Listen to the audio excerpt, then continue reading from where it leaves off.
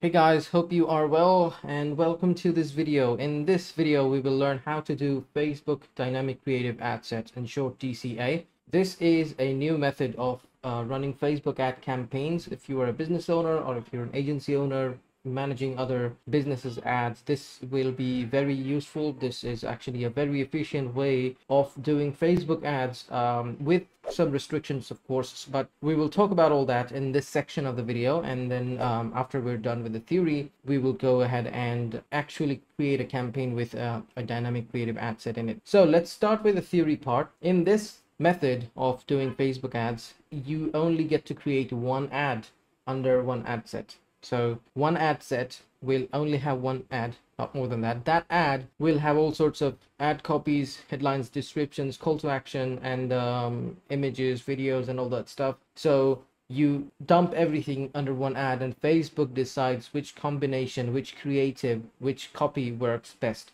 So uh, again, what we discussed, uh, one ad per ad set, up to five headlines. So you can under one ad have up to five headlines, five descriptions, five ad copies, and also five call to action. So, and then you can, uh, you get to upload 10 images or videos under that single ad. So this will be your ad. This will be your dynamic creative ad under the ad set and uh, let's talk about the benefits so the benefits the first benefit is uh, the creative testing becomes you know almost automated so you put everything there and then you decide uh, you let facebook decide which which combination works best which creative works best.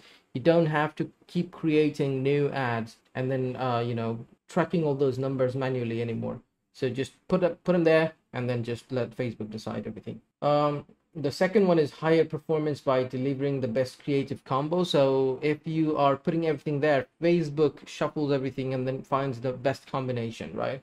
That's also uh, one of the benefits of running dynamic creative ad sets. Then there are data-driven insights, which is kind of obvious, and it's less work because you don't have to manually keep creating ad sets and you know test keep testing your ads um, ads. In this way, you only create one campaign. This is just how I personally use uh, dynamic creative ads for um, you know my businesses or you know my client businesses. I just create one campaign and then I once I find the best combination, once I find the best winning creatives i just create uh, variations of the top three performing ads and then i just replace them with the lowest performing three. So this is what keeps on going and then uh, it also helps me avoid ad fatigue. Like you know when the frequency of, of a particular ad creative increases this method helps me avoid that as well. So that's uh, the benefits. So these are the benefits and then let's talk about the restrictions as well. So it you have less control because you're doing less work and you are kind of you know letting facebook decide everything. You have less control. So you can't really choose which headline goes with which image. It's up to facebook. Facebook will decide the best combination. So you you can't really uh you know like how we used to do like under one campaign we used to do ads for for example if we uh if we were doing ads for like a like a gym. Okay. So we could we could promote cardio through one ad we could promote weightlifting through another one we could promote like you know you get the idea. But if you are doing dynamic creatives and putting everything under one one ad it's kind of messed up right? Because the cardio ad copy may be combined by facebook with the weightlifting ad creative. So you only can do like under one ad. You have to keep it similar. You can't really do multiple ad categories like subcategories of the service can't be promoted through one ad if that makes sense. So dynamic creatives don't support storytelling where a specific sequence matters you know? So like in carousels so you can't do carousel through dynamic creatives. That's one of the restrictions. If your creatives aren't tightly aligned with in tone and visuals meta might mix that and clash you know stylistically. So that's what i said. If you are doing multiple category or subcategory under one ad the combination may not make sense so these are the restrictions, keeping them in mind if you think that, okay, I want to do dynamic creatives, um, you know, in my in my future campaigns, or maybe I'll just give it a go. Then the next section is for you. And then we will now go ahead and create a dynamic creative campaign. I'll show you, I'll, I'll talk about all the bits. And uh, yeah, let's get started on creating our campaign. So here we are, let's get started. This is my ad account and uh, I'm on the campaign level just go to adsmanager.facebook.com if you want to go to your Facebook ad account and then hit create.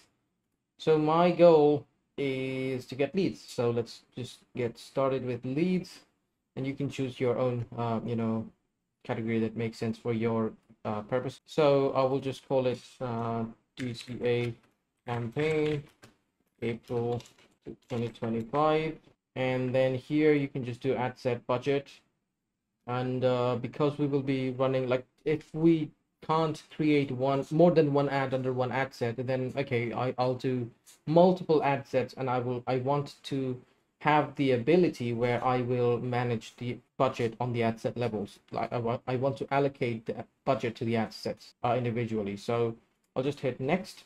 I'll just call it broad.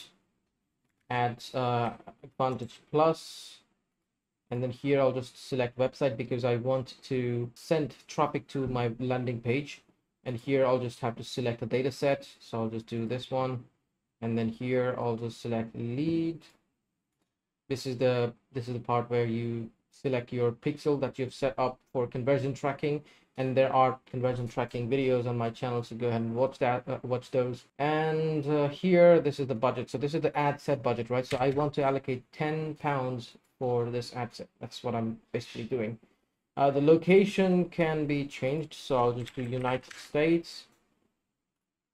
I'll maybe i'll just do ireland as well because i'm, I'm doing worldwide campaign in all english speaking countries. So very important. Uh here where it says dynamic creative this must be on. So let's turn this on. This is the whole purpose of this video. So let's turn this on and then select the audience. I'm, I'm keeping this ad set broad not doing any kind of uh, uh any kind of interest based targeting any lookalike stuff. The videos are there in my channel if you want to watch those how to do interest stack targeting how to do lookalike targeting and the, all those stuff. But once you're done with this part just hit next. And also uh, one more thing i forgot to mention here where it says placement keep advantage plus on. So facebook has full control over where to show your ads and whom to show your ads in the broad campaign hit next and i'll just do dca ad this is actually my DCA ad and it won't let me create more than one ad, right? So select your correct Facebook page, select your correct Instagram account, and then come over here where it says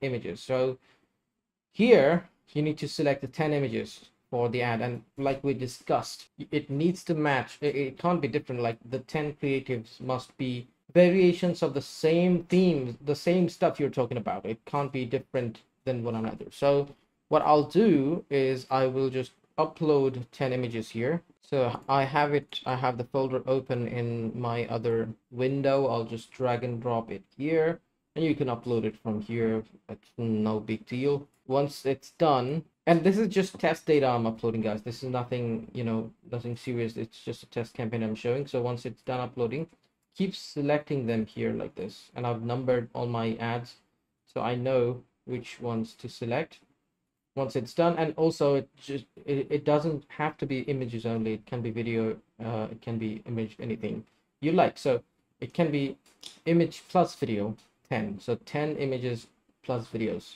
uh, and now primary text. So let's upload some text as the ad copy.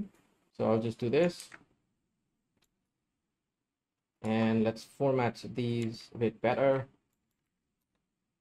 All right, so add text option in the next option. And I told you we can do five ad copies, right? So this is the second one. This is uh, this is what we need to do to create the ad copies all right and th this will be the third one now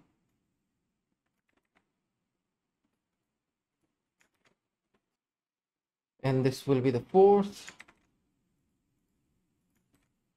and finally the fifth ad copy here we go once it's done as you can see it doesn't give me an option to create a sixth ad copy which means you're only limited to uploading five ad copies under one ad. So that's so we're done with that, right? So now let's just upload some headlines. These are the headlines that will show up under. Okay, let's let me just turn on ad preview so you can see how how it looks. And here we go. This is the second one. This is what will uh, the, the headline will basically be displayed under the image or the video right? Uh, and then the fourth and the fifth. So this is the fifth one.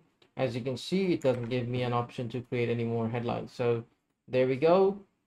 And for some reason it's not showing me the previews. Let me just try refreshing it. Okay maybe something happened. I don't know but usually you you get to see what's going on uh you know how it how your ad is, is looking as you keep uh, uh, creating the ad.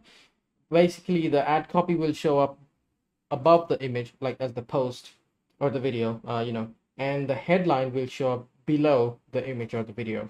And here you just put your website url so i'll just do my website because it's nothing serious. I'm not going to run this campaign anyway. This is just to show you how it's done uh, here the, the call to action, so the appropriate one, because I'm, I'm asking people to join my group, will be join now or something. But you can, however, create multiple calls to action. So, you know, like sign up or, you know, order now, like whichever one works. Uh, contact us, maybe apply now. So you can have as many as you need, but I would just recommend not using all these, but and, and just stick with the ones that matter most. So maybe I'll just get rid of these. Book now, sign up, or sign up, or apply now. That's it. Tracking, that's fine. URL parameters, if you want to use it, use it. Uh, if you don't want to do it, that's fine. So we are just basically sending people to a landing page, and then this is our dynamic creative ad. Five ad copies, five headlines, five descriptions, which is optional. Website URL, display link can be the same. And then here we're not selecting any additional add-on five calls to action, but I'm just selecting two because these are the most appropriate ones. The other ones don't really make any sense. Okay, so that's once that's done, go to the campaign level, check everything, go to next, and then hit publish. That will publish your campaign. And this is your dynamic creative ad, guys. And let me just show you one more thing before we wrap this video up. So how do you see which which ads are doing well and which ones are not? So here, come to the ad level, go to breakdown, go to dynamic creative element and select image video and slideshow. So once you do that that will you know give you a breakdown of all the uh, let me just try to publish this campaign. Maybe i'll be able to see that. So next next publish. Hopefully it gets published. Oh no it won't. Okay. Anyway so let me just try to uh, go to the breakdown again so go to dynamic creative element. So this will, if you do image, video, and slideshow, this will basically give you a breakdown of all the creatives separately, like which ones are doing, which ones got leads, which ones got did not get a lead, and stuff like that. Uh, so yeah, that's that's basically how you how you create dynamic creative ads, uh, dynamic creative ad campaigns. So before I finish the video, guys, I just wanted to show you an actual dynamic creative campaign and how the stats look like. So uh, this is the ad level. This is an actual campaign we were running. And then we need to just go ahead and create breakdown, dynamic creative element, image, video, and slideshow. As you can see, the the creatives in this ad are you know broken down like this. So if you click on this, it'll take you to the creative link, and it will th this view basically shows you how many views, how many leads, how many impressions, how many you know what's the cost per result and all those stuff for each uh, individual creative. So that's how you can you get to see how your dynamic creative ads are doing. Uh, again facebook decides the best combination and all those stuff. Uh, you don't have to do anything. You just get to see how the creatives are doing. So you just you need to you know tune up the ad copies and just keep changing ad creatives based on the requirements. So that's it for this video guys. I will see you in the next one